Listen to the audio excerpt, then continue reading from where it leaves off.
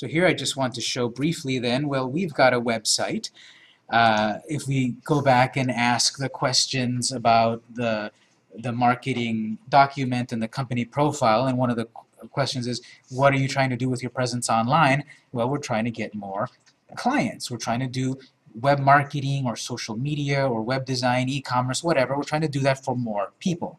So we're using the website in terms of, for example, showing our services, our portfolio, what we're about. And then there's the request a quote and such.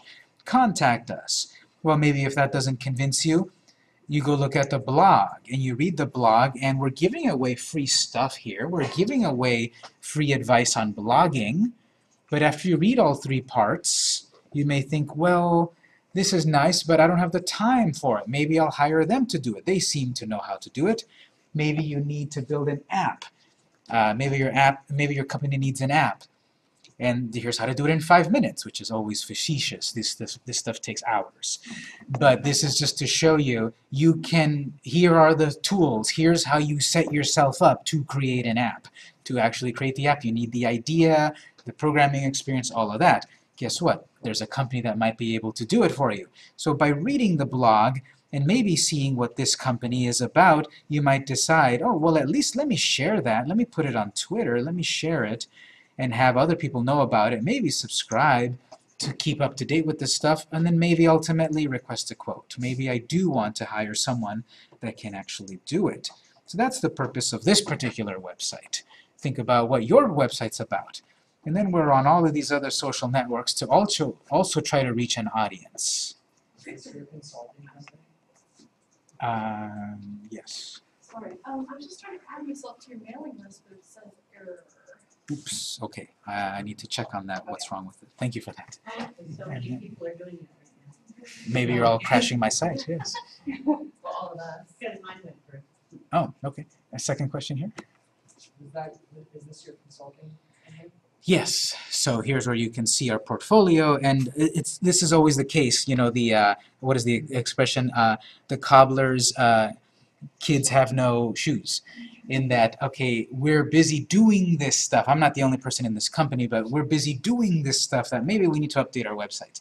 But enough of it is there, hopefully, to give an impression. We try to update the blog at least a month. But the latest portfolio stuff is not there, unfortunately, and that's one of the to-do lists. But we're busy doing it that sometimes we don't get to it. And that's a good problem to have, isn't it? That once you're selling so many shoes, well, your kids don't have any, but you're selling shoes. So I just wanted to show this because we, we practice what we preach. What I do in this class, we do it for real clients. You can look them up on the portfolio. If you take the blogging class, uh, what I talk about in the blogging class is found here. We're on social media, so these are just a few of them here, but you can go follow us on other networks and we practice what we preach. Yes. Is this a WordPress site? This is WordPress. So the thing is that oftentimes WordPress, they've got, I, I don't know if I mentioned it last time, WordPress has about 20% market share globally. And you might think 20%, that's pretty low. But that's 20% of hundreds of millions of websites throughout the world. And so it's one of the biggest platforms out there, most famous. It's always updating and improving. And uh, WordPress is very SEO friendly, as we will see a little bit later. That's why when I teach this class and most classes, people come in with a variety of kinds of websites. A WordPress site, a Wix site, a Weebly site, Squarespace, Dreamweaver front page, on and on and on. Joomla, Drupal, many ways to make a website. The concepts that I teach here should apply to every kind of website. But I can really only talk about and say, do this on a WordPress site, because I can't teach every platform. I don't know every platform. Question? What's the top platform? WordPress.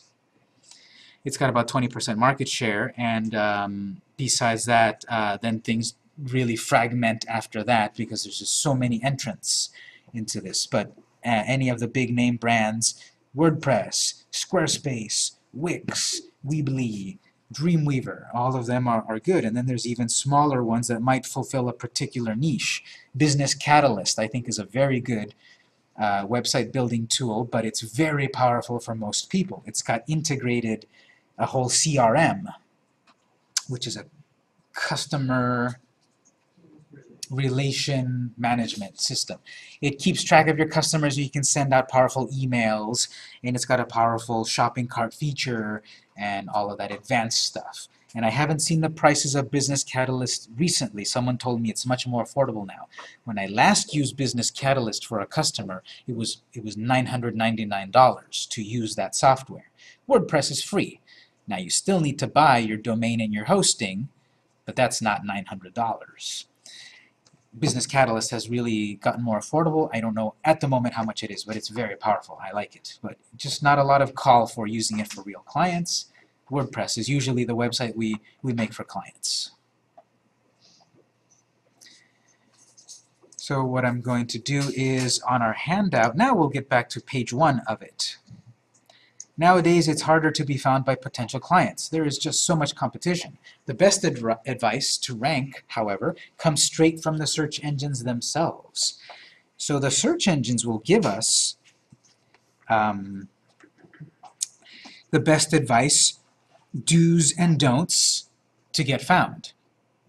But they will not give away all their trade secrets of exactly how it works um, we'll be able to look at the webmaster tools, Google and Bing, and they will tell you do this and do that, but don't do this.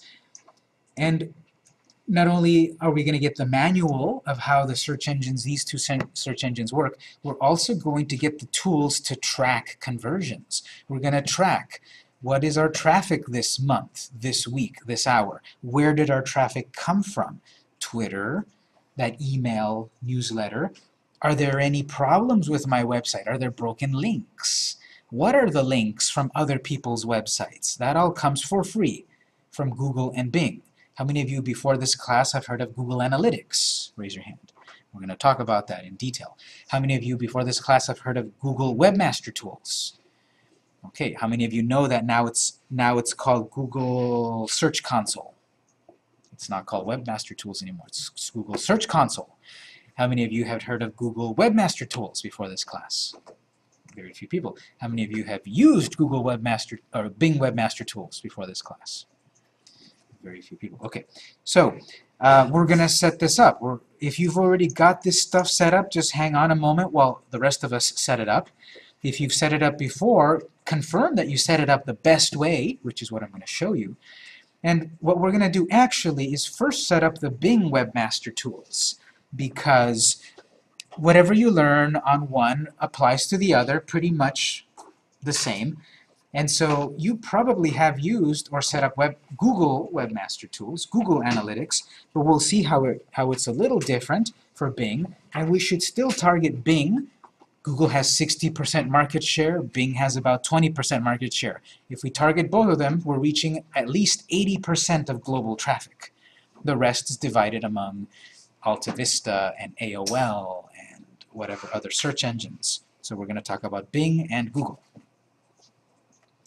So in the second point right here, Webmaster Guidelines. Bing, a rival search engine, and one that is rising, has its own advice to help webmasters rank well on their results page. You'll find that many of the concepts apply to both search engines with minor variations. So if you if you click on that link, click on that link and um, you should click allow. Click on that Bing link and it should take you to the Webmaster Tools Help Center and there's going to be plenty of books out there that you can find on Amazon or at Barnes & Noble or, or wherever about how to do SEO. But the thing about books, the thing about print, is that it gets outdated pretty quickly because the search engines uh, update their algorithm all the time. I believe there's an official timetable for Google at least. I believe it's every three or six months. But they've changed it. I think it's even sooner than that now. So the point of getting a book quickly falls out of favor. A better thing might be go directly to the search engines and they will give you the latest information. So if you follow that link, we've got here Bing Webmaster Tools Help and How to Center. Getting started, dig into the data. So we're going to set this up and we're going to see this and try to understand it but it's all right here. how to configure my site using the reports. What about if you've got malware and spam on your site, frequently asked questions, getting help? Why do I need, why do I get notifications? Why is my site not in the index? Meaning, why is Bing not finding it? Where can I submit feedback? So we're not going to go through this screen by screen. You should look at this. You should, uh, you know, if you've got a, a phone or a tablet, you should uh, get it and uh, pull it up and then curl up by the fireplace with a nice glass of wine and read this stuff here. And uh, you'll be better informed than your competition, which most likely they're not doing it. What we're going to talk about in this class is a synth synthesis of as many of these things as possible, not word for word, because it, uh, it's a lot of words, but you should look at it together, and we will set it up. We will see how it works uh, and why it's effective, because how do we know our tweets are working? How do we know the payments that we're doing on Facebook are working? How do we know that our newsletter is working? Webmaster Tools will tell us that. Where's our traffic coming from? How long did someone stay on our site? What was the most popular page? but we need, a, we need to set it up. And this is going to vary depending on your website. So what if this is just a tool for, um, seeing how effe- uh, effective it is, or what is? Exactly. So what we need to do is create a free account and set it up. So my link at the bottom, bing.com slash toolbox. So on your web browser, let's go to bing.com slash toolbox.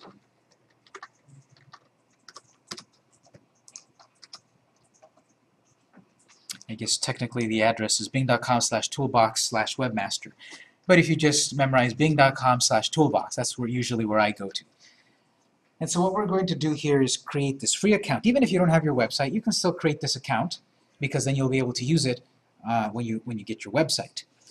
And so here, the first thing we have is, okay, sign in or create an account.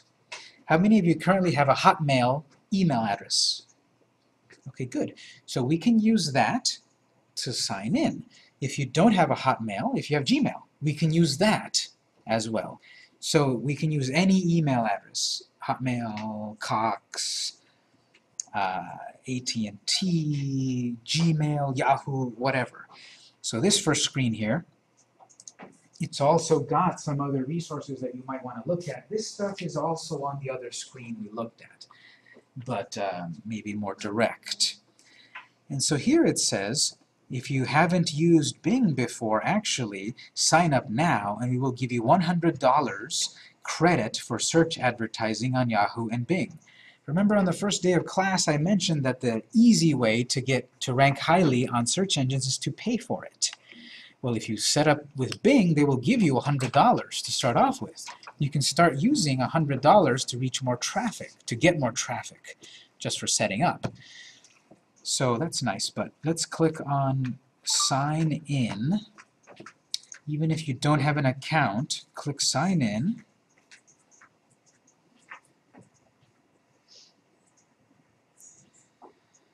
Sign in, and then it will ask you to sign in with your Hotmail account or your Outlook account, your Microsoft account. If you don't have one, don't have a Microsoft account, sign up. So we're going to take a moment, since it's going to vary for everyone, either sign in with your Hotmail or create an account. Let me give you like two minutes at the most. Let me finish my thought here. Uh, so either sign in with your existing account or create one, and then uh, and then we'll go on. Call me over if you're having trouble. Just sign in. That's all we need to do. Then we'll do it together. Question? Yes. Well, um, I did, I- mine just signed in, and I didn't realize I had an account. Oh, okay, that's very good. Uh, I'll look over your shoulder one moment just to confirm that. Question?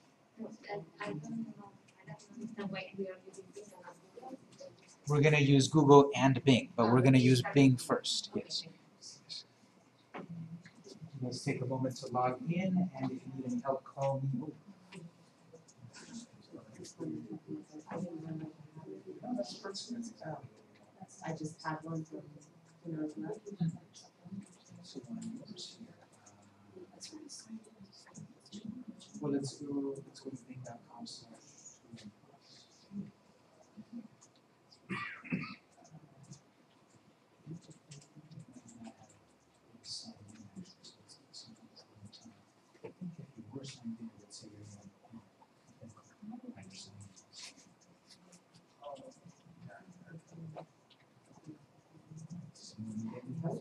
Signing in, signing out.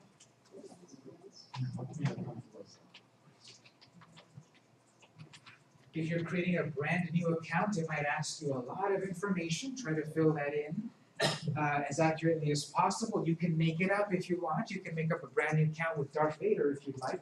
But I would recommend if you're, if it's asking you to create a brand new account, fill it in legitimately.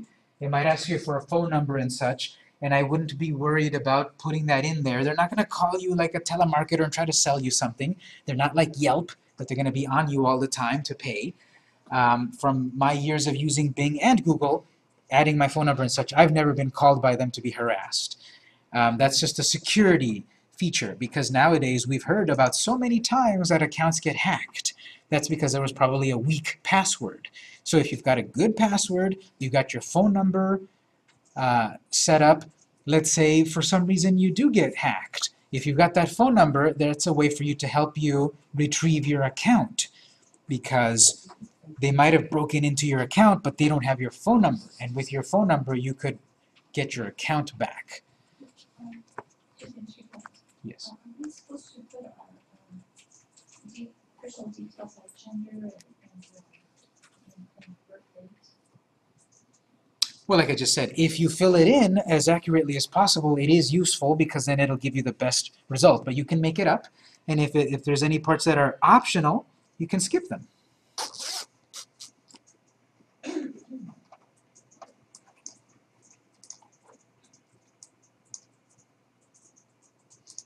So I'm going to sign in.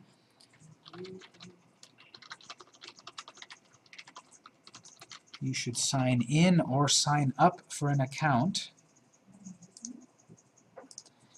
And your screen will probably look different than mine, but that's okay. I just want you to sign in and then I'll then we'll talk about what we have here.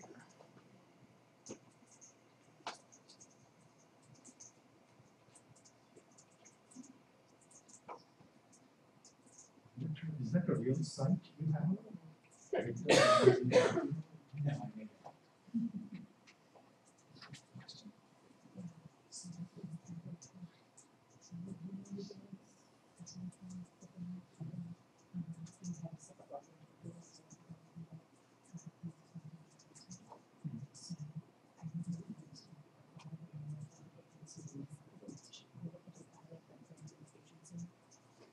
No, I made it up. Both of them are, but both of them are your own site, right?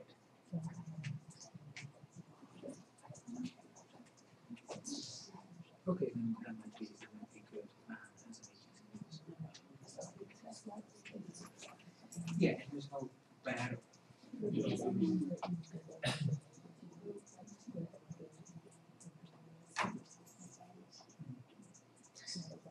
We will be, that, that doesn't difference, but with your particular account, you will be able to add your own sites or your client's sites without having to turn on, so I don't know much of a difference on that. Uh, just one that I could just-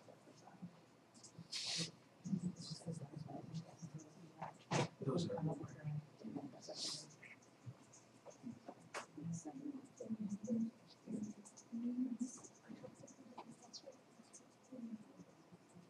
For you, um, what you want to do is, uh, click sign up, you don't have an account yet, so. And here you wanna fill this in, and then here you can put your document. Well, you're, you're about to create a password you can use the same password, but different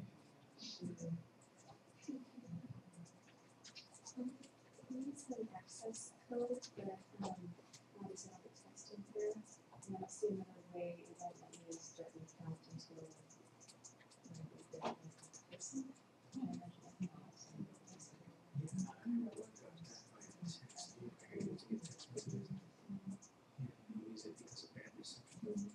Well, um, while we're waiting for everyone to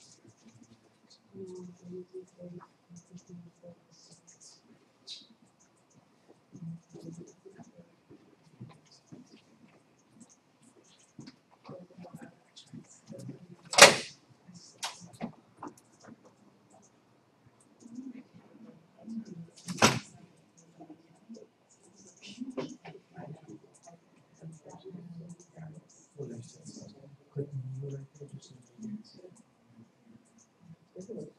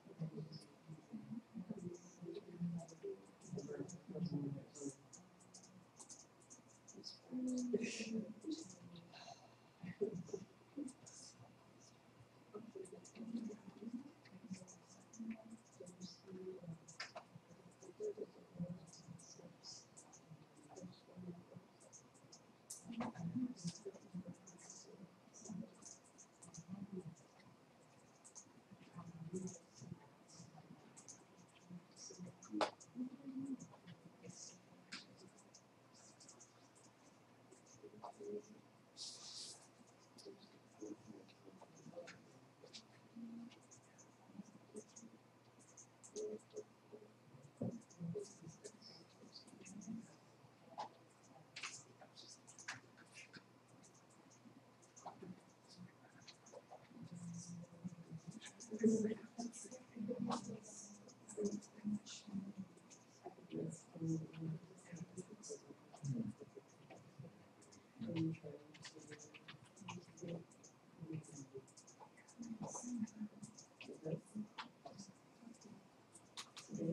right, anyone else need a little help? We might be ready to proceed.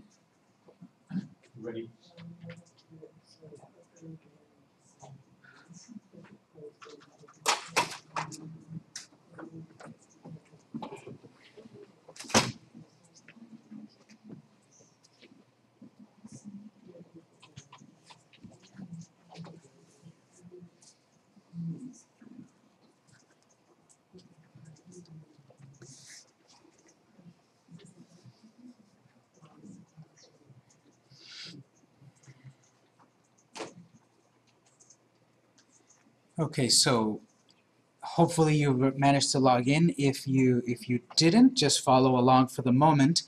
I'm logging in with an account that I've already created, so my screen might look a little bit different than yours.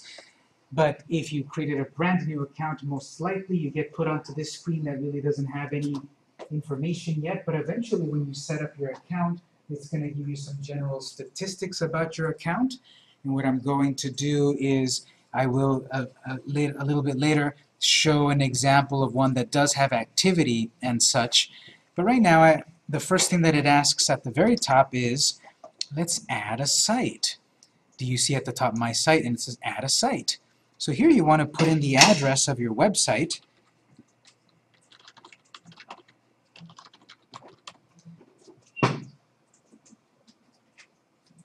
So your main address, the top level of your address, your .com, .net, whatever it is, and then you click the Add button.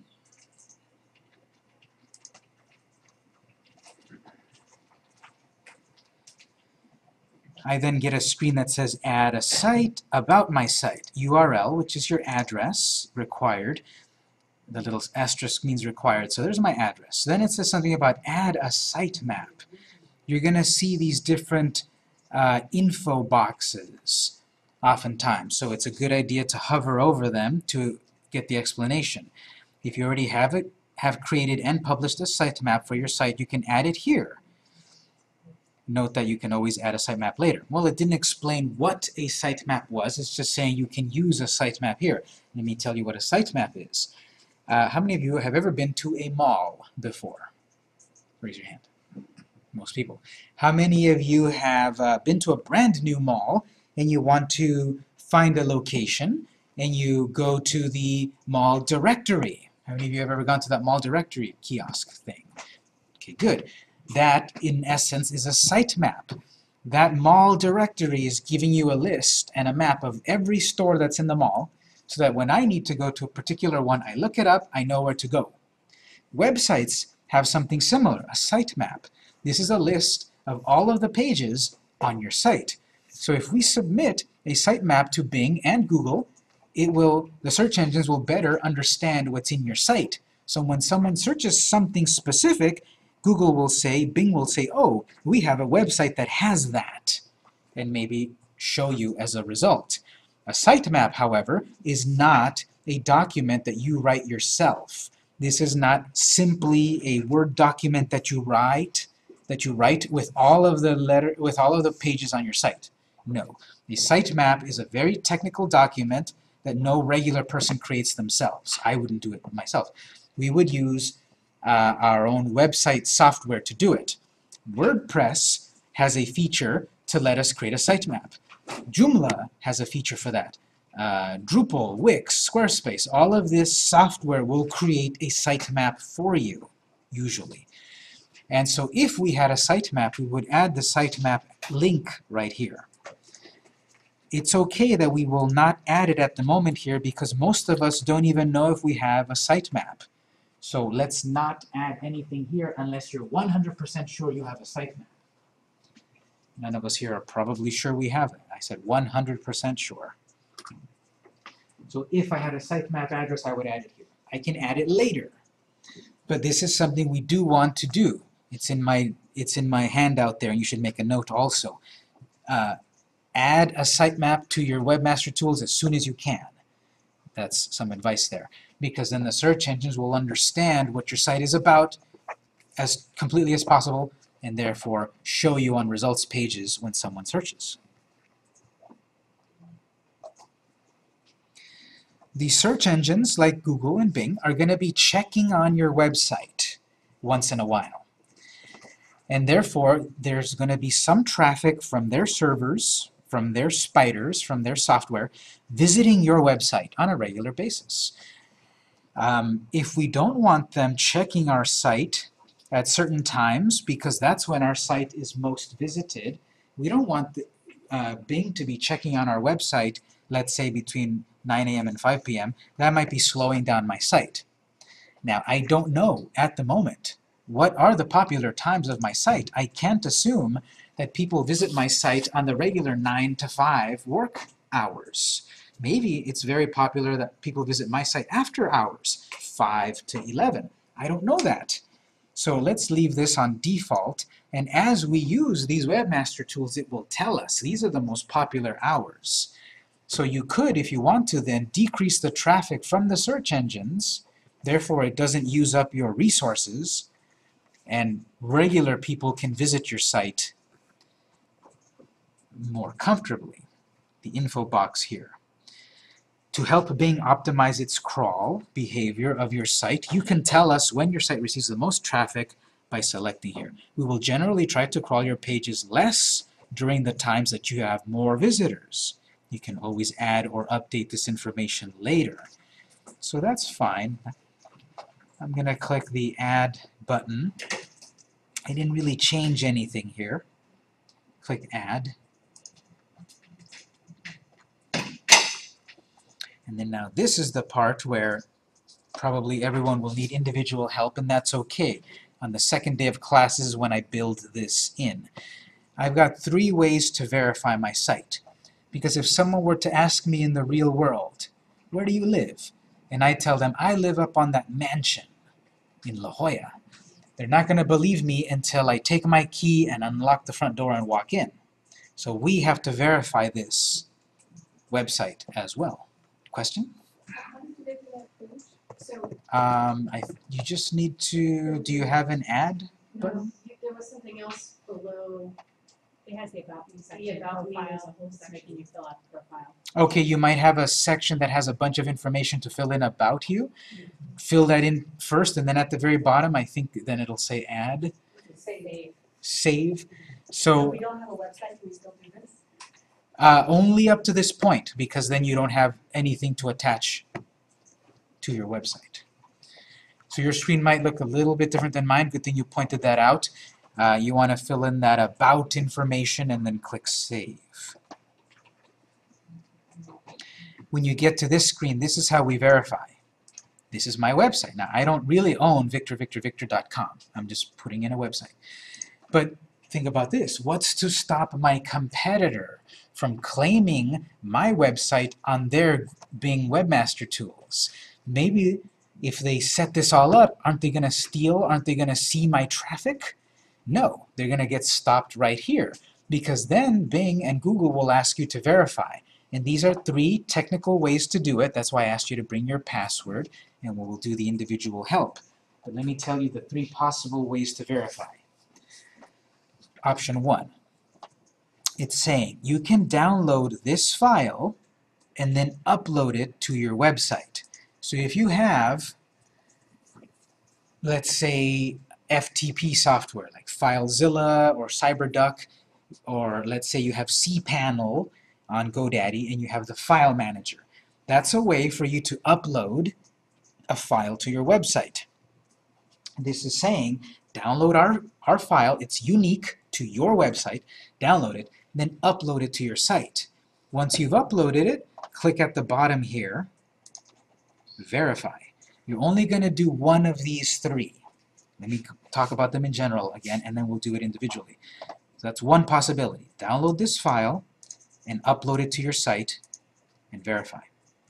The other possibility is, well, if you can log into your site to edit your site, this is another way. It says copy this line of code in the gray here, copy it, and then you're going to paste it into your site. It says in your code, in the HTML file, you're going to paste that line, and that line is unique to your site.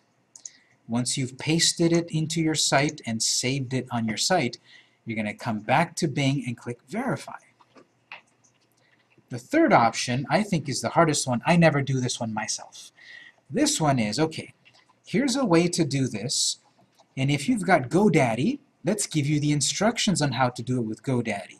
If you've got uh, strato.de, here's how to do it. If you've got yahoo.com, here's how to do it.